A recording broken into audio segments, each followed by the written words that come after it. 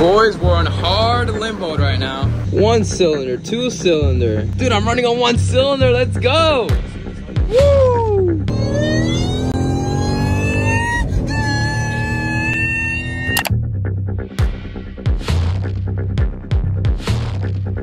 Okay, literally, I almost just got stranded at a stoplight. Oh my gosh. The car started like going, whoa, whoa, whoa, whoa, whoa. What the heck? What is happening? And now I have a check engine light. I literally just got off the gym right now. So we're, what the heck? The car's idling normal now. Driving normal, but I don't trust it. Well, I'm gonna turn off for a little bit though. What the heck was that? Engine, read codes, fuel rail pressure, catalytic, catalytic, 142E. I don't know if we're gonna make it home right now.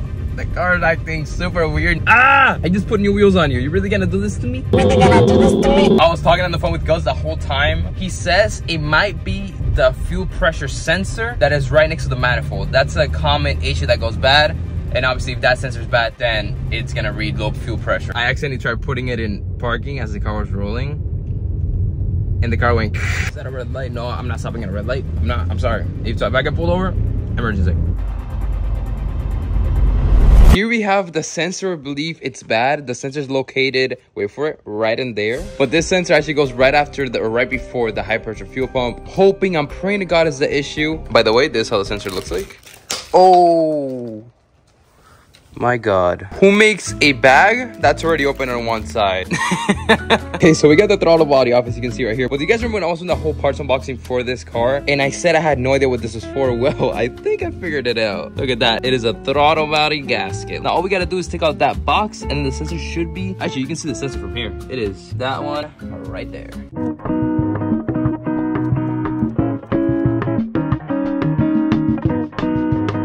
Probably gonna have to also put the O-ring in here. Here we go.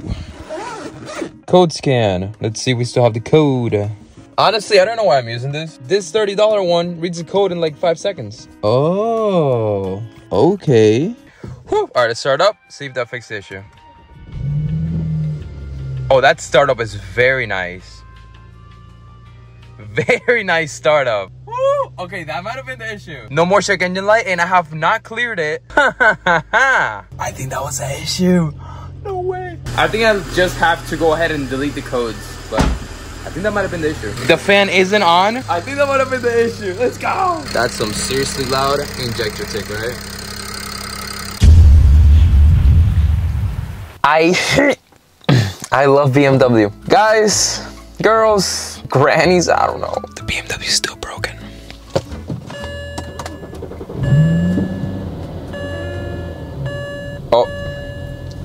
Hear that?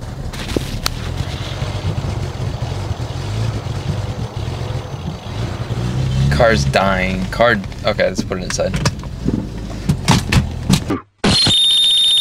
Ah! My camera. um, I'm just gonna show you guys something and you already know what's going on.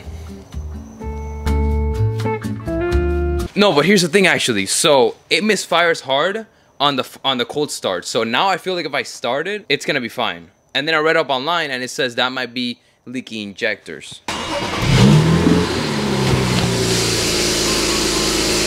See, now it's just fine. Zero misfires, no check engine light. And that's because you guys just saw me start it right now and it was misfiring hard. It looks like a, it could be a leaky injector. One cylinder, two cylinder. Dude, I'm running on one cylinder. Let's go. Woo! Boys, we're on hard limbo right now. But let's just appreciate the backdrop though. We just have to. Getting a lot more air than it is fuel is going to start misfiring. And it's not going to know why it's misfiring. But why is it only misfiring on, on like cold startups? Because it takes in the most air? up And when it's reading them. Because when you're in power, it usually... Wait, I don't think they've seen it. We're talking about because this is loose right here.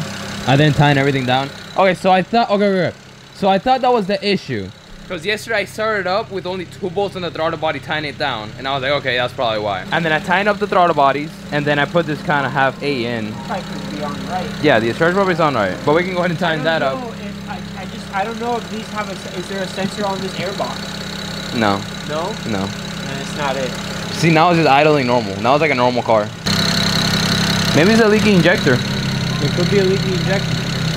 Because I was reading up online and people were saying if it's only on cold startup that the car misfires extremely hard, it's 100% leaky injectors. I wouldn't jump to that assumption. Because I mean, these are old and they're prone to go bad. They're like the biggest thing that people say I'm gonna I'm gonna have to change too. So it's not like. Okay, so the car's completely on limp mode right now. I don't know if you can hear me, but thankfully Roland has an MHD little dongle that you put into the OBD2 and it reads you every code and we can also see if the high pressure fuel pump is pushing the power it should be pushing. One, two, four, and six again. Now you got the same cutout code. You have a shadow code for the high pressure. Innsbruckzong. That long oh, word. Oh, that's French, bro. That not that long word right there. Onwel dedingongatsats zak nak. And literally one, exactly one hour later, we got the new, quote unquote new high pressure fuel pump out of the car. What we're gonna do now, put the old one back in and hopefully that fixed the issue. Here we got the old one that's going back in the car. Honestly, at this point, I hope the issue is that I got sent a faulty fuel pump. That would actually be amazing. All right, here we go. Here we go. Please act normal.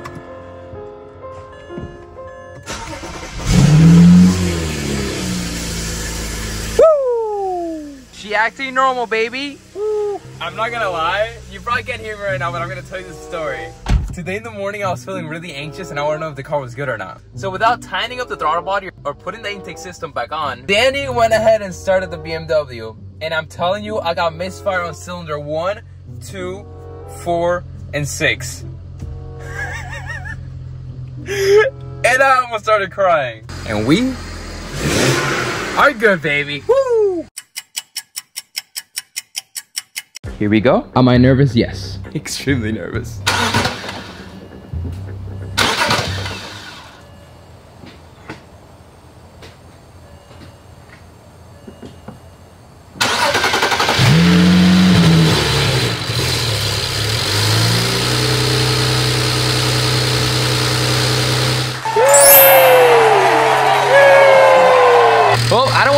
Too soon, but it looks like the issue was the new high pressure fuel pump. I was probably sent a faulty high pressure fuel pump, which thank God FCP Euro has lifetime warranty on all parts. So I'm gonna go ahead and send that over. Back to them, get a new one, and then we should be good. I do smell a little bit of gas though, so I'm gonna check on that.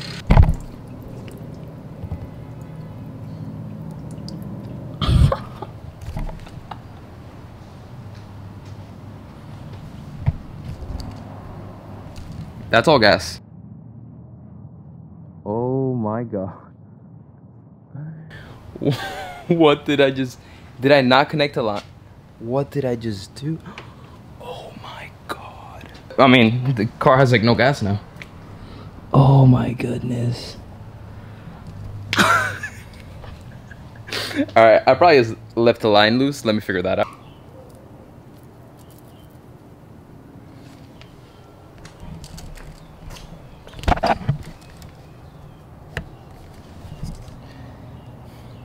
Ask you how you are, you just have to say that you're fine when you're not really fine, but you just can't get into it because they would never understand.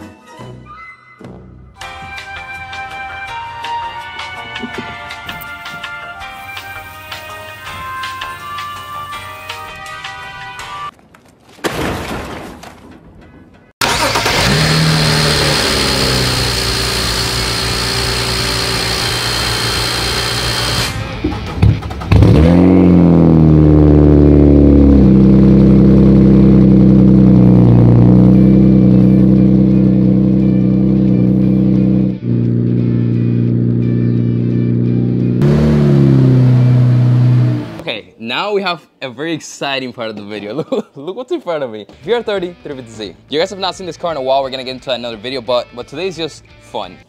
Oh, you know what? I'm pissed. Mid-recording, the camera stopped, but in front of me, we do have these amazing EBC brake rotors and brake pads for the VR30 350Z that's right behind me. Obviously, they are from Throtl. I will leave a link to these exact same rotors as well as the website. Use code DannyZ for a good amount of percentage off your order. As you guys know, we order Mishimoto parts for the both cars, CSF parts for both cars, sway bars for both cars, directly from them. The website is honestly incredible. They have so many parts for Zs, BMWs, everything you can think of. So, I'm excited because these are drilled and slotted rotors. A little bit of a better cooling, also looks really cool. Huge thank you to Throtl. Absolutely love you guys. Thank you for sponsoring, believing in me, and being part of the build. All right, let's go put these on the car.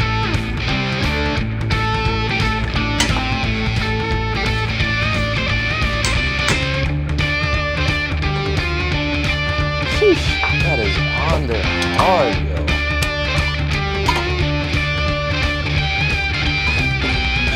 Out with the old and in with the new. Shout out to my boy Chris Fix. Oh, that's so much better. And I know what you guys are thinking, oh, you should paint the caliper. I'm gonna do that. The paint that I ordered hasn't come in yet, so sadly we have to wait. But either way, this thing looks so awesome now.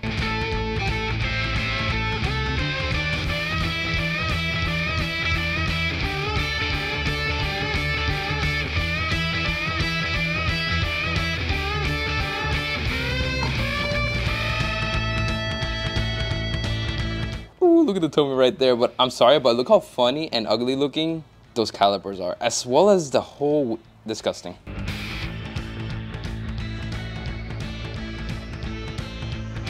So if you guys didn't notice, I didn't install pads in the front because I'm still waiting for the front pads. So I'm gonna show you how to do the rear pads. If you're just doing the pads, it's really simple. You gotta take the top bolt, the bottom bolt, and this little piece actually, or just take the top bolt and this little piece will drop and you can just take out the pads pretty easily. Push them out like that. Ta-da! Clamp. Okay, so we're using a C-clamp to go ahead and push in the piston. Look how clean that Tomei is. Tell me you don't drive your car without telling me you don't drive your car. that Tomei at most has 20 cold stars on it. Sheesh.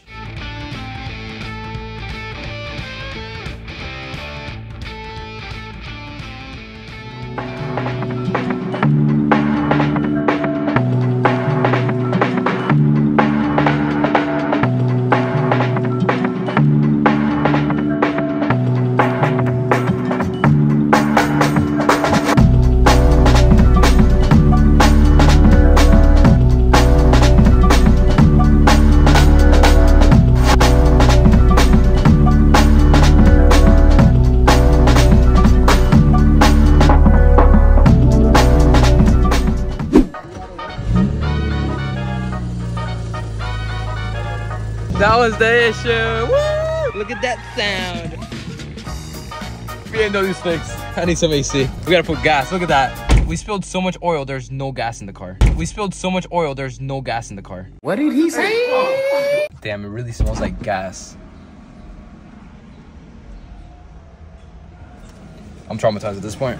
But we made it to the gas station. It's crazy that the issue was a faulty car part. I guess it happens. I don't know. Downtown, downtown, town. How much money? Ooh, look at those wheels though. Are you aftermarket, bro? Sheesh. Aftermarket boy. Ah! What's something you have an obsession with? You.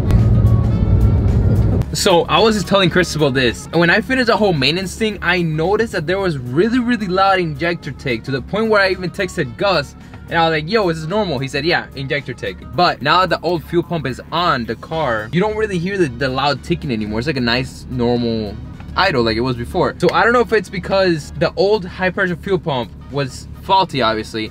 So it made the injectors work extra hard or, actually, I don't know, but yeah. Beamer's back.